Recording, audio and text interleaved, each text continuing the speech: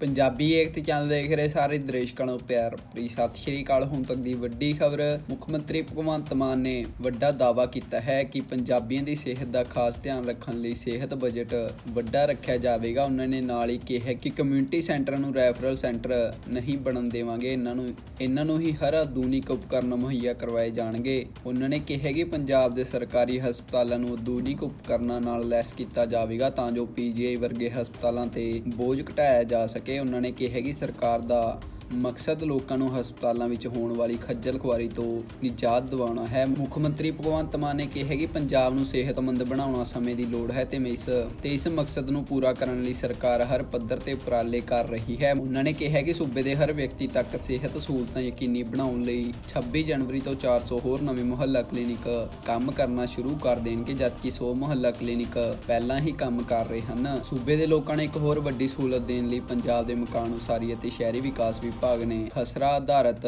Master plans ਨੂੰ digitise ਕਰਨ ਦਾ ਕੰਮ ਸ਼ੁਰੂ ਕਰ ਦਿੱਤਾ ਹੈ, ਜਿਸ ਨਾਲ ਆਮ ਵਿਅਕਤੀ ਜ਼ਮੀਨ ਦੀ ਸਥਿਤੀ ਇਸ ਦੀ ਮੌਜੂਦਾ ਵਰਤੋਂ ਅਤੇ ਜ਼ੋਨਿੰਗ ਪਲਾਨ ਬਾਰੇ ਆਸਾਨ, ਆਸਾਨੀ ਨਾਲ ਪਤਾ ਕਰ ਸਕੇਗਾ। ਪੰਜਾਬ ਦੇ ਮਕਾਨ ਉਸਾਰੀ ਅਤੇ ਸ਼ਹਿਰੀ ਵਿਕਾਸ ਮੰਤਰੀ ਅਮਨ ਅਰੋੜਾ ਨੇ ਵਿਭਾਗ ਦੇ ਅਧਿਕਾਰੀਆਂ ਨੂੰ ਹਦਾਇਤ ਕੀਤੀ ਕਿ ਉਹ ਇਸ ਪ੍ਰੋਜੈਕਟ ਨੂੰ ਲਾਗੂ ਕਰਨ ਦੀ ਪ੍ਰਕਿਰਿਆ ਨੂੰ ਹੋਰ ਤੇਜ਼ ਕਰਨ ਵਾਸਤੇ ਪੰਜਾਬ ਰਿਮੋਟ ਸੈਸਿੰਗ ਸੈਂਟਰ ਦੀ ਟੀਮ ਨਾਲ ਤਾਲਮੇਲ ਕਰਨ ਤਾਂ ਜੋ ਲੋਕਾਂ ਨੂੰ ਜ਼ਮੀਨ ਨਾਲ ਸੰਬੰਧਿਤ ਸਾਰੀ ਜਾਣਕਾਰੀ ਇੱਕ ਕਲਿੱਕ ਤੇ ਮੁਹੱਈਆ ਕਰਵਾਈ ਜਾ ਸਕੇ। ਅਮਨ ਅਰੋੜਾ ਨੇ ਕਿਹਾ ਕਿ ਇਸ ਪ੍ਰੋਜੈਕਟ ਦੇ ਲਾਗੂ ਹੋਣ ਨਾਲ ਲੋਕ ਆਪਣੀ ਜ਼ਮੀਨ ਨੂੰ ਆਨਲਾਈਨ ਦੇਖ ਸਕਣਗੇ। ਇਸ ਤੋਂ ਇਲਾਵਾ ਜਿਸ ਖੇਤਰ ਵਿੱਚ ਉਹਨਾਂ ਦੀ ਜ਼ਮੀਨ ਪੈਂਦੀ ਹੈ, ਉਸ ਖੇਤਰ ਦੇ ਜ਼ੋਨਿੰਗ ਪਲਾਨ ਬਾਰੇ ਵੀ ਜਾਣਕਾਰੀ ਹਾਸਲ ਕਰ ਸਕਣਗੇ। ਪੰਜਾਬ ਦੇ ਮੁੱਖ ਮੰਤਰੀ ਭਗਵੰਤ ਮਾਨ ਵੱਲੋਂ 에ਅਰਪੋਰਟਾਂ ਤੇ ਬੰਦ ਉਡਾਨਾਂ ਕਾਰਨ ਲੋਕਾਂ ਨੂੰ ਆ ਰਹੀਆਂ ਮੁਸ਼ਕਿਲਾਂ ਦੇ ਮੱਦੇਨਜ਼ਰ ਨਵੇਂ ਹੁਕਮ ਜਾਰੀ ਕੀਤੇ ਗਏ ਹਨ। ਸੀਐਮ ਮਾਨ ਨੇ ਅਧਿਕਾਰੀ ਨੂੰ ਹੁਕਮ ਜਾਰੀ ਕੀਤੇ ਹਨ ਕਿ ਇਸ ਸਾਲ ਮਾਰਚ ਦੇ ਅੰਤ ਤੱਕ ਆਦਮਪੁਰ ਹਵਾਈ ਅੱਡੇ ਤੋਂ ਘਰੇਲੂ ਉਡਾਨਾਂ ਮੁੜ ਸ਼ੁਰੂ ਕੀਤੀਆਂ ਜਾਣ। ਇਸ ਹਵਾਈ ਅੱਡੇ ਤੋਂ ਜਲਦੀ ਤੋਂ ਜਲਦੀ ਉਡਾਨਾਂ ਸ਼ੁਰੂ ਕਰਨਾ ਯਕੀਨੀ ਬਣਾਇਆ ਜਾਵੇ। ਜਾਣਕਾਰੀ ਅਨੁਸਾਰ ਇਸ ਦੇ ਨਾਲ ਹੀ ਮੁੱਖ ਮੰਤਰੀ ਨੇ ਹਲਵਾਰਾ ਹਵਾਈ ਅੱਡੇ ਦੇ ਸਿਵਲ ਟਰਮੀਨਲ ਦੀ ਉਸਾਰੀ ਦਾ ਕੰਮ 3 ਮਹੀਨਿਆਂ ਵਿੱਚ ਮੁਕੰਮਲ ਕਰਨ ਦੇ ਹੁਕਮ ਜਾਰੀ ਕੀਤੇ ਹਨ। ਦੱਸ ਦਈਏ, ਪੰਜਾਬ ਸਰਕਾਰ ਸਿਵਲ 에ਅਰ ਟਰਮੀਨਲ ਲਈ ਪਹਿਲਾਂ ਹੀ 50 ਕਰੋੜ ਰੁਪਏ ਜਾਰੀ ਕਰ ਚੁੱਕੀ ਹੈ। ਇਸ ਪ੍ਰੋਜੈਕਟ ਦੇ ਮੁਕੰਮਲ ਹੋਣ ਤੇ ਪੰਜਾਬ ਦੇ ਆਰਥਿਕ ਵਿਕਾਸ ਨੂੰ ਹੁਲਾਰਾ ਮਿਲੇਗਾ। ਇਸ ਦੌਰਾਨ ਮਾਨ ਨੇ ਲੋਕ ਨਿਰਮਾਣ ਵਿਭਾਗ ਨੂੰ ਇਹਨਾਂ ਹਵਾਈ ਅੱਡਿਆਂ ਨੂੰ ਜਾਣ ਵਾਲੀਆਂ ਸੜਕਾਂ ਦੀ ਉਸਾਰੀ ਦਾ ਕੰਮ ਜਲਦੀ ਤੋਂ ਜਲਦੀ ਪੂਰਾ ਕਰਨ ਲਈ ਕਿਹਾ ਹੈ। ਪਰਾਲੀ ਸਾੜਨ ਦੀਆਂ ਘਟਨਾਵਾਂ ਨੂੰ ਠੱਲ ਪਾਉਣ ਲਈ ਖੇਤੀਬਾੜੀ ਵਿਭਾਗ ਵੱਲੋਂ ਸ਼ੁਰੂ ਕੀਤੇ ਠੋਸ ਉਪਰਾਲਿਆਂ ਦੀ ਜਾਣਕਾਰੀ ਦਿੰਦਿਆਂ ਖੇਤੀਬਾੜੀ ਮੰਤਰੀ ਕੁਲਦੀਪ ਸਿੰਘ ਢਾਲੀਵਾਲ ਨੇ ਕਿਹਾ ਕਿ ਮੁੱਖ ਮੰਤਰੀ ਭਗਵੰਤ ਮਾਨ ਦੀ ਅਗਵਾਈ ਵਾਲੀ ਪੰਜਾਬ ਸਰਕਾਰ ਵੱਲੋਂ ਮੌਜੂਦਾ ਸੀਜ਼ਨ ਦੌਰਾਨ ਫਸਲਾਂ ਦੀ ਰਹਿੰਦ ਖੂਨ ਦੇ ਮੌਕੇ ਤੇ ਹੀ ਪ੍ਰਬੰਧਨ ਲਈ ਖੇਤੀਬਾੜੀ ਮਸ਼ੀਨਰੀ ਨੂੰ ਉਤਸ਼ਾਹਿਤ ਕਰਨ ਸੰਬੰਧੀ ਸਕੀਮ ਅਧੀਨ ਕਿਸਾਨਾਂ, ਸੂਬੇ ਦੀਆਂ ਕਿਸਾਨ ਉਤਪਾਦਕ ਸੰਸਥਾਵਾਂ, ਪੰਚਾਇਤਾਂ, ਪ੍ਰਾਇਮਰੀ ਐਗਰੀਕਲਚਰ ਸੁਸਾਇਟੀਆਂ ਨੂੰ ਫਸਲਾਂ ਦੀ ਰਹਿੰਦ ਖੂੰਦ ਪ੍ਰਬੰਧਨ ਲਈ 23200 ਤੋਂ ਵੱਧ ਮਸ਼ੀਨਾਂ ਉਪਲਬਧ ਕਰਵਾਈਆਂ ਗਈਆਂ ਹਨ। ਉਹਨਾਂ ਨੇ ਕਿਹਾ ਕਿ ਖੇਤੀਬਾੜੀ ਵਿਭਾਗ ਦੇ ਠੋਸ ਉਪਰਾਲਿਆਂ, ਸਦਕਾ ਪਰਾਲੀ ਸਾੜਨ ਦੀਆਂ ਘਟਨਾਵਾਂ ਵਿੱਚ 30% ਦੀ ਕਮੀ ਆਈ ਹੈ, ਖੇਤੀਬਾੜੀ ਮੰਤਰੀ ਨੇ ਦੱਸਿਆ ਕਿ ਇਸ ਸਕੀਮ ਤਹਿਤ ਹੁਣ ਤੱਕ 113622 ਮਸ਼ੀਨਾਂ ਮੁਹੱਈਆ ਕਰਵਾਈਆਂ ਜਾ ਚੁੱਕੀਆਂ ਹਨ। ਕਾਂਗਰਸ ਦੇ ਸੀਨੀਅਰ ਲੀਡਰ ਸੁਖਪਾਲ ਸਿੰਘ ਖਹਿਰਾ ਨੇ ਸ਼੍ਰੋਮਣੀ ਅਕਾਲੀ ਦਲ ਦੇ ਪ੍ਰਧਾਨ ਸੁਖਵੀਰ ਸਿੰਘ ਬਾਦਲ ਨੂੰ ਸਮਝਾਇਆ ਹੈ ਕਿ ਆਖਰਕਾਰ ਸਿੱਖ ਵੋਟਰ ਅਕਾਲੀ ਦਲ ਤੋਂ ਦੂਰ ਕਿਉਂ ਹੋਏ ਹਨ। ਖਹਿਰਾ ਨੇ ਟਵੀਟ ਕਰਦਿਆਂ ਅਕਾਲੀ ਦਲ, ਬੀਜੇਪੀ ਸਰਕਾਰ ਵੇਲੇ ਹੋਈਆਂ ਗਲਤੀਆਂ ਦਾ ਜ਼ਿਕਰ ਕਰਦਿਆਂ ਕਿਹਾ ਕਿ ਇਸ ਲਈ ਹੀ ਲੋਕਾਂ ਨੇ ਤੁਹਾਨੂੰ ਰੱਦ ਕੀਤਾ ਹੈ। ਇਸ ਦੇ ਨਾਲ ਹੀ ਉਹਨਾਂ ਨੇ ਕਿਹਾ ਕਿ ਲੋਕਾਂ ਨੇ ਅਕਾਲੀ ਦਲ ਹੀ ਨਹੀਂ, ਸਗੋਂ ਮਾੜੀ ਲੀਡਰਸ਼ਿਪ ਨੂੰ ਰਿਜੈਕਟ ਕੀਤਾ ਹੈ। ਸੁਖਪਾਲ ਖਹਿਰਾ ਨੇ ਟਵੀਟ ਕਰਦਿਆਂ ਕਿਹਾ ਕਿ ਪਿਆਰੇ ਸੁਖਵੀਰ ਸਿੰਘ ਬਾਦਲ, ਇੱਥੇ ਕੋਈ ਰਾਕੇਟ ਵਿਗਿਆਨ ਨਹੀਂ ਹੈ ਕਿ ਸਿੱਖਾਂ ਨੇ ਅਕਾਲੀ ਦਲ ਨੂੰ ਕਿਉਂ ਰੱਦ ਕੀਤਾ? ਤੁਹਾਡੇ ਰਾਜ ਵਿੱਚ ਬੇਦਬੀ ਬੈਬਲ ਹੱਤਿਆਕਾਂਡ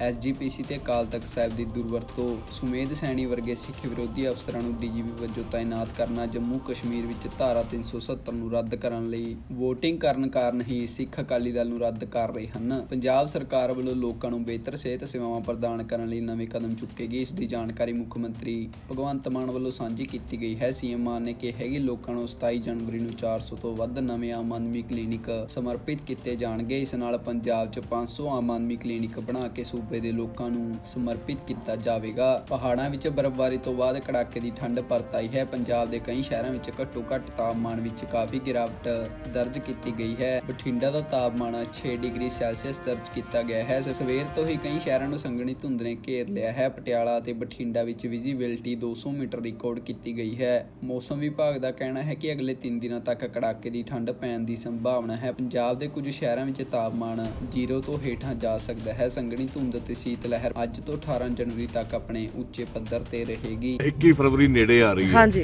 ਹਜੇ ਤੱਕ ਮੈਨੂੰ ਵੀ ਲੱਗਦਾ ਨਹੀਂਗਾ ਵੀ ਸਾਈਨ ਬੋਰਡ ਪੰਜਾਬੀ ਚ ਹੋ ਗਏ ਹੋਣ ਨਹੀਂ ਨਹੀਂ ਉਹ ਸਾਡੇ ਵੱਲੋਂ ਆਦੇਸ਼ ਜਿਹੜੇ ਲਿਖਤੀ ਰੂਪ ਚ ਜਾਰੀ ਕੀਤੇ ਗਏ ਨੇ ਹਰ ਹਰ ਇੱਕ ਮਹਿਕਮੇ ਦੇ ਤੇ ਸਾਈਨ ਐਕਸ਼ਨ ਬੋਰਡ ਨਹੀਂ ਸ਼ੁਰੂ ਹੋਇਆ ਅਜੇ। ਨਹੀਂ ਐਕਸ਼ਨ ਹੋਊਗਾ ਜੀ ਸ਼ੁਰੂ ਹੋਊਗਾ। ਜਿੱਥੇ ਕਿਤੇ ਕੋਈ ਕਮੀ ਰਹਿ ਗਈ ਫਿਰ ਉਹਦੇ ਤੇ ਅਸੀਂ ਐਕਸ਼ਨ ਵੀ ਲਵਾਂਗੇ। 100% ਨਹੀਂ ਇਸ ਟਾਈਮ ਮਾਨ ਸਾਹਿਬ ਇੰਡਸਟਰੀ ਦੇ ਲਈ ਤਤਪਰ ਨੇ। ਜਿੰਨੀਆਂ ਉਹ ਜਾ ਕੇ ਇੰਟਰ ਸਟੇਟ ਮੀਟਿੰਗਸ ਕਰ ਰਹੇ ਨੇ, ਬਾਹਰ ਜਾ ਕੇ ਵੀ ਮੀਟਿੰਗਸ ਕਰ ਰਹੇ ਇਨਵੈਸਟਰ ਸਮਿਟ ਸਾਡਾ ਆ ਰਿਹਾ ਫਰਵਰੀ ਦੇ ਵਿੱਚ, ਜਿਹਨੂੰ ਬੜੇ ਵੱਡੇ ਲੈਵਲ ਤੇ ਕਰ ਰਹੇ ਆ ਤਕਰੀਬਨ ਅਸੀਂ ਹਜ਼ਾਰਾਂ ਕਰੋੜ ਦੀ ਕਮਿਟਮੈਂਟ ਆਲਰੇਡੀ ਜਿਹੜੀ ਕਰਵਾ ਚੁੱਕੇ ਹਾਂ ਟੈਕਸਟਾਈਲ ਦੇ ਵਿੱਚ।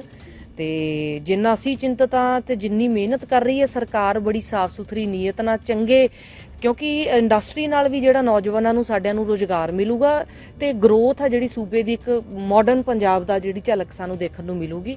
ਤੇ ਇਹ ਪੋਲੀਟੀਕਲ ਰਜਿਸਟੈਂਟ ਹੁੰਦੇ ਨੇ ਜਦੋਂ ਕੋਈ ਦੂਜਾ ਲੀਡਰ ਆਉਂਦਾ ਨਾ ਤਾਂ ਉਹ ਮੌਜੂਦਾ ਸਰਕਾਰ ਉੱਤੇ ਕੋਈ ਨਾ ਕੋਈ ਟਿੱਪਣੀ ਉਹਨੇ ਕਰਨੀ ਹੁੰਦੀ ਹੈ ਪਰ ਆਪਾਂ ਬੜੀ ਸਾਫ਼ ਸੁਥਰੀ ਨੀਤ ਨਾਲ ਲੱਗੇ ਹੋਏ ਆ।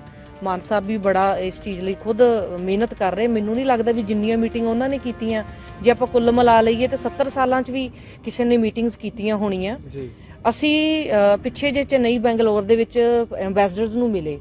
ਤਾਂ ਉਹ ਸਵੇਰ ਤੋਂ 8 ਵਜੇ ਤੋਂ ਲੈ ਕੇ ਰਾਤ ਦੇ 8 ਵਜੇ ਤੱਕ ਮੀਟਿੰਗ ਕਰਦੇ ਆ। ਇਹ ਨਹੀਂ ਕਿ ਸ਼ਾਮ ਨੂੰ ਸਾਰੀ ਇੰਡਸਟਰੀ ਬੁਲਾ ਲਈ, ਜਿਹੜੇ ਉੱਥੋਂ ਦੇ ਵੱਡੇ ਇੰਡਸਟਰੀਲਿਸਟ ਹੈ ਅਸੀਂ ਨਾਲ ਬੈਠੇ ਆ ਆਫੀਸਰ ਬੈਠੇ ਆ ਅਸੀਂ ਇਹ ਸੁਣ ਕੇ ਇੱਕ ਆਪਦੇ ਆਪ ਚ ਮਾਣ ਮਹਿਸੂਸ ਹੁੰਦਾ ਕਿ ਸਾਡੇ ਸਟੇਟ ਦੇ ਸੀਐਮ ਉਹਨਾਂ ਨੂੰ ਕਹਿ ਰਹੇ ਨੇ ਉਹ ਕਹਿ ਰਹੇ ਵੀ ਹੁਣ ਅਸੀਂ ਅੰਡਰ ਟੇਬਲ ਕਰਕੇ ਪੰਜਾਬ ਚ ਆਏ ਨਹੀਂ ਕਈ ਸਾਡੇ ਪੰਜਾਬੀ ਬੰਦੇ ਵੀ ਜਿਹੜੇ ਬਾਹਰ ਚੱਲ ਗਏ ਇਥੋਂ ਉਹ ਕਹਿੰਦੇ ਵੀ ਅਸੀਂ ਸਭ ਬਾਹਰ ਕਿਤੇ ਇਨਵੈਸਟਮੈਂਟ ਦੇ ਵਿੱਚ ਪੈਸਾ ਲਾ ਸਕਦੇ ਆ ਪੰਜਾਬ ਚ ਨਹੀਂ ਲਾ ਸਕਦੇ। ਤੇ ਉਹਨਾਂ ਦੀ ਸਾਡਾ ਪੰਜਾਬੀ ਵੀਰ ਸੀ ਅਹ, ਤੇ ਉਹਨਾਂ ਦੀ ਵਾਈਫ ਨਾਲ ਆਈ ਹੋਈ ਉਹਨਾਂ ਨੇ ਮਾਨ ਸਾਹਿਬ ਨੂੰ ਪੁੱਛਿਆ ਕਿ ਕੁਝ ਅੰਡਰ ਟੇਬਲ ਤੇ ਨਹੀਂ ਬਹੁਤ ਨੇ ਪੁੱਛਿਆ। ਤੇ ਉਹ 1 ਟੂ 1 ਮੀਟਿੰਗਸ ਚੱਲ ਰਹੀਆਂ ਸੀ ਤੇ ਮਾਨ ਸਾਹਿਬ ਨੇ ਕਿਹਾ ਵੀ ਮੇਰੀ ਇੱਕ ਹੀ ਬੇਨਤੀ ਹੈ ਵੀ ਸਾਡੇ ਜਿਹੜੇ ਨੌਜਵਾਨਾਂ ਨੂੰ ਰੋਜ਼ਗਾਰ ਜ਼ਿਆਦਾ ਦੇ ਦਿਓ ਹੋਰ ਸਾਨੂੰ ਕੁਝ ਨਹੀਂ ਚਾਹੀਦਾ। ਹਰ ਇੱਕ ਇੰਡਸਟਰੀ ਨੂੰ ਇਸ ਤਰੀਕੇ ਕਹਿਣਾ ਕਿ ਸਾਡਾ ਕਰਪਸ਼ਨ ਫ੍ਰੀ ਸਿਸਟਮ ਹੈ। ਤੁਸੀਂ ਆਓ, ਸਾਨੂੰ ਸਿੰਗਲ ਵਿੰਡੋ ਸਿਸਟਮ ਅਸੀਂ ਕਰ ਦਿੱਤਾ ਹੈ। ਕੋਈ ਤੁਹਾਡੇ ਤੋਂ ਕਰਪਸ਼ਨ ਨਹੀਂ ਕੀਤੀ ਜਾਊ। ਇਹੀ ਇੱਕ ਇੰਡਸਟਰੀਲਿਸਟ ਇਨਵੈਸਟਰ ਭਾਲਦਾ ਹੁੰਦਾ ਵੀ ਜਿਹੜੀ ਪੋਲੀਟੀਕਲ ਇੰਟਰਫੇਰੈਂਸ ਉਹ ਘੱਟ ਹੋਵੇ। ਉਹ ਆਪਣੀ ਸਰਕਾਰ ਬੜੀ ਸਾਫ਼ ਨੀਤ ਨਾਲ ਤੇ ਵਧੀਆ ਤਰੀਕੇ ਨਾਲ ਲੱਗੀ ਹੋਈ ਹੈ ਤੇ ਯਕੀਨ ਮੰਨਿਓ 5 ਸਾਲਾਂ ਦੇ ਵਿੱਚ ਪੂਰੀ ਮਿਹਨਤ ਕਰਕੇ ਵਧੀਆ ਆਊਟਪੁੱਟ ਕੱਢ ਕੇ ਅੱਜ ਬਹੁਤ ਸੋਹਣਾ ਉਪਰਾਲਾ ਹੋਇਆ ਜੀ ਜਗਰਾਉਂ ਧੀਆਂ ਦੀ ਲੋਹੜੀ ਮਨਾਈ ਗਈ ਹੈ।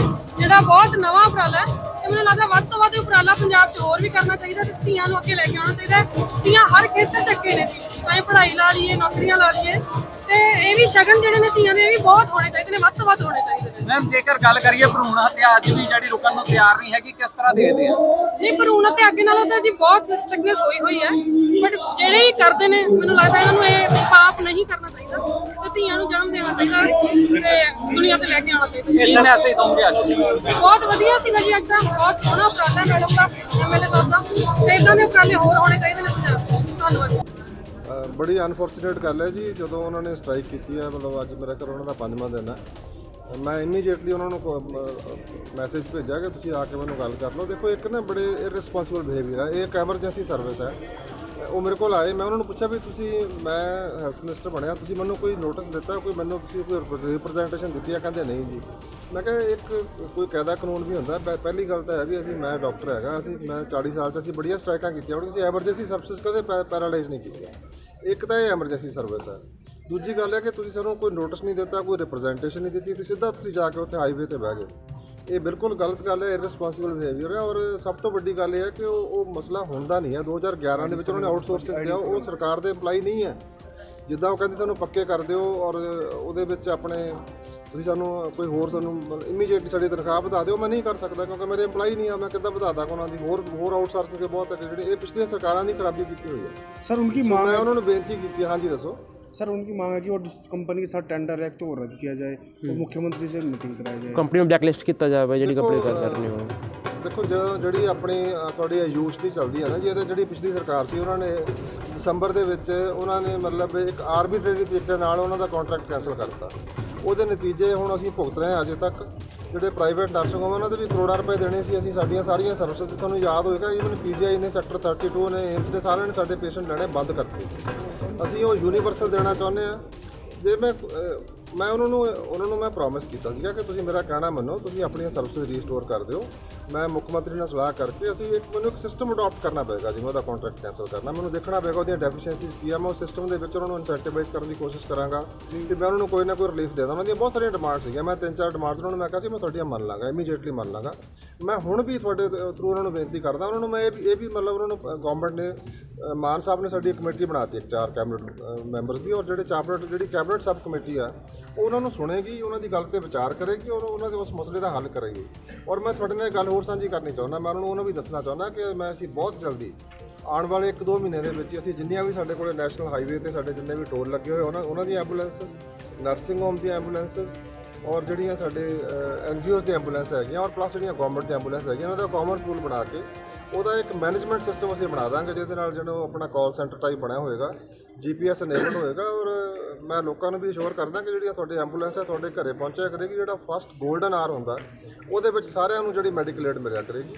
ਔਰ ਅਸੀਂ ਪੇਸ਼ੈਂਟ ਨੂੰ ਫ੍ਰੀ ਲੈ ਕੇ ਆ ਕੇ ਕਰੋ ਉਹਨੂੰ- ਉਹਦਾ ਫ੍ਰੀ ਇਲਾਜ ਕਰਕੇ ਉਹਨੂੰ ਘਰੇ ਛੱਡ ਕੇ ਆਇਆ ਕਰਾਂਗੇ। ਇਹੋ ਜਿਹੀਆਂ ਸਰਵਿਸ ਸਾਡੇ ਮੁੱਖ ਮੰਤਰੀ ਸਾਹਿਬ ਦੇਣਾ ਚਾਹੁੰਦੇ ਆ। ਆਪਣਾ ਕੰਮ ਕਰ ਰਹੀ ਹੈ, ਪ੍ਰਸ਼ਾਸਨ ਆਪਣਾ ਕੰਮ ਕਰ ਰਿਹਾ, ਪਰ ਆਪਾਂ ਇੱਕ ਜ਼ਿੰਮੇਦਾਰ ਨਾਗਰਿਕ ਹਾਂ। ਬਸ ਇਹੀ ਸੋਚਿਓ, ਜੇ ਚਾਈਨਾ ਡੋਰ ਕਿਸੇ ਨੂੰ ਵੀ ਹਾਰਮ ਕਰ ਸਕਦੀ, ਜਿਹੜੇ ਤੁਸੀਂ ਆਪਣਾ ਪਤੰਗ ਉਡਾਉਣਾ ਤੁਹਾਡਾ ਸ਼ੌਂਕ ਹੈ, ਪਰ ਉਹ ਸ਼ੌਂਕ ਤੁਹਾਡੇ ਕਿਸੇ ਪਰਿਵਾਰਕ ਮੈਂਬਰ ਦੀ ਵੀ ਜਾਨ ਲੈ ਸਕਦਾ ਤੁਹਾਡੇ ਪਰਿਵਾਰਕ ਮੈਂਬਰ ਵੀ, ਤੁਹਾਡੇ ਬੱਚੇ, ਤੁਹਾਡੀਆਂ ਭੈਣਾਂ, ਤੁਹਾਡੇ ਪੇਰੈਂਟਸ ਤੁਹਾਡੇ ਬਜ਼ੁਰਗ ਸੜਕਾਂ ਤੇ ਚੱਲਦੇ ਨੇ ਤੇ ਤੁਹਾਡਾ 2 ਘੰਟੇ ਦਾ ਸ਼ੌਂਕ ਜਾਂ ਘੰਟੇ ਦਾ ਸ਼ੌਂਕ ਕਿਸੇ ਦੇ ਪਰਿਵਾਰ ਉਜਾੜ ਸਕਦਾ ਇਸ ਕਰਕੇ ਉਹ ਸ਼ੌਂਕ ਜਿਹੜਾ ਕਿਸੇ ਦੀ ਸਦਾ ਲਈ ਖੁਸ਼ੀਆਂ ਲੈ ਜਾਵੇ, ਉਹ ਸ਼ੌਂਕ ਆਪਾਂ ਨੂੰ ਕਦੀ ਪੂਰਾ ਨਹੀਂ ਕਰਨਾ ਚਾਹੀਦਾ। ਹੋਰ ਵੀ ਡੋਰਾਂ ਬਹੁਤ ਆਂਦੀਆਂ ਵਧੀਆ ਆਂਦੀਆਂ ਜਿਹੜੀਆਂ ਜਾਨੀ ਨੁਕਸਾਨ ਨਹੀਂ ਦਿੰਦੀਆਂ। ਇਸ ਕਰਕੇ ਚਾਈਨਾ ਡੋਰ ਲੈਣ ਤੋਂ ਪਹਿਲਾਂ ਤੁਸੀਂ ਆਪਣੇ ਬਜ਼ੁਰਗਾਂ ਆਪਣੇ ਪੇਰੈਂਟਸ ਆਪਣੇ ਬੱਚਿਆਂ ਆਪਣੇ ਭੈਣ ਆਪਣੇ ਭਾਈ ਵੱਲ ਜ਼ਰੂਰ ਦੇਖਿਓ। ਬੜੇ ਇੱਕ ਇਸ਼ੂ ਹੋਰ ਵੀ ਹੈਗਾ ਨੰਗਲ ਦਾ। ਇੱਕ ਇੱਥੇ ਆਪਣੇ ਕੋਲ ਇੱਕੋ ਐਂਬੂਲੈਂਸ ਹੈ। ਜਿਵੇਂ ਉਸ ਦਿਨ ਵੀ ਜੋ ਘਟਨਾ ਹੋਈ ਉਸ ਦੇ ਵਿੱਚ ਜਿਹੜੀ ਐਂਬੂਲੈਂਸ ਉਹ ਪੀਜੀਆਈ ਚਲੇਗੀ। ਮਰੀਜ਼ ਨੂੰ ਲੈ ਕੇ ਹੁਣ ਉਹ ਵੀ ਜਾਣਾ ਜ਼ਰੂਰੀ ਹੈ ਪਰ ਦੂਜੀ ਕੋਈ ਜੇ ਅਗਰ ਇੱਕ ਵੀ ਕੋਈ ਐਮਰਜੈਂਸੀ ਪੈ ਜਾਵੇ ਤਾਂ ਨੰਗਲ ਸ਼ਹਿਰ ਦੂਜੀ ਐਂਬੂਲੈਂਸ ਨਹੀਂ ਹੈਗੀ। ਰੈੱਡ ਕਰਾਸ ਕੋਲ ਐਂਬੂਲੈਂਸ ਖੜੀ ਹੈ ਆ ਵੀ ਦੇਖੋ ਕਿੱਦਾਂ ਦੇ ਕੰਮ ਕਰਕੇ ਗਏ ਨੇ ਪਰ ਉਹਨੂੰ ਚਲਾਉਣ ਲਈ ਕੋਈ ਡਰਾਈਵਰ ਹੈ ਨਹੀਂ। ਤਾਂ ਅਸੀਂ ਕਾਉਂਸਲ ਨੂੰ ਕਿਹਾ ਉਹ ਡਰਾਈਵਰ ਭਰਤੀ ਕਰਨ ਜਾਂ ਅਸੀਂ ਆਪਣੇ ਨਿੱਜੀ ਜੇਬ ਤੋਂ ਪੈਸੇ ਦੇ ਦਾਂਗੇ ਤਾਂ ਕਿ ਖੁਦਾ ਨਾ ਖਾਸਤਾ ਇੱਕੋ ਟਾਈਮ ਤੇ ਦੋ ਜਾਂ ਤਿੰਨ ਐਮਰਜੈਂਸੀਆਂ ਆ ਜਾਣ ਤਾਂ ਉਹਨਾਂ ਦਾ ਨਿਪਟਾਰਾ ਹੋ ਸਕੇ। ਨੰਗਲ ਦੇ ਹਸਪੀਟਲ 'ਚ ਡਾਕਟਰਾਂ ਦੀ ਬਹੁਤ ਕਮੀ ਹੈ। ਸਾਨੂੰ ਆਰਥੋ ਸਾਨੂੰ ਆਰਥੋ ਚਾਹੀਦੇ ਨੇ ਸਰਜਨਸ ਚਾਹੀਦੇ ਨੇ ਕਿਉਂਕਿ ਤਾਂ ਹੀ ਜਿਹੜੇ ਆਪਣੇ ਆ ਐਕਸੀਡੈਂਟ ਕੇਸਿਸ ਨੇ ਇਹ ਹੋ ਸਕਦੇ ਨੇ। 650 ਡਾਕਟਰ ਪੰਜਾਬ ਸਰਕਾਰ ਭਰਤੀ ਕਰ ਰਹੀ ਹੈ। ਇਸ ਤੋਂ ਇਲਾਵਾ ਹੋਰ ਵੀ ਬਹੁਤ ਸਾਰੇ ਡਾਕਟਰ ਅਸੀਂ ਭਰਤੀ ਕਰ ਰਹੇ ਹਾਂ। ਤਾਂ ਉਹ ਡਾਕਟਰ ਇੱਥੇ ਆਣਗੇ ਤੇ ਮੈਂ ਇੱਕ ਐਨਐਫਐਲ ਦੇ ਰੋਡ ਤੇ ਜੰਗਲੀ ਜਾਨਵਰਾਂ ਕਾਰਨ ਹਾਦਸੇ ਵਾਪਰੇ ਬਹੁਤ ਬਹੁਤ ਬਹੁਤ ਤੇ ਜਿਹੜਾ ਤੁਸੀਂ ਮੁੱਦਾ ਚੱਕਿਆ ਬਹੁਤ ਕੀਮਤੀ ਜਾਨਾਂ ਸਾਡੇ ਵੀ ਇੱਕ ਪਾਰਟੀ ਦੇ ਵਰਕਰ ਸੀ ਸ਼ਰਮਾ ਜੀ, ਜਦੋਂ ਆਪਣਾ ਰਿਜ਼ਲਟ ਆਉਣ ਤੋਂ ਪਹਿਲਾਂ ਉਹਨਾਂ ਦੀ ਵੀ ਜਾਨ ਉੱਥੇ ਗਈ।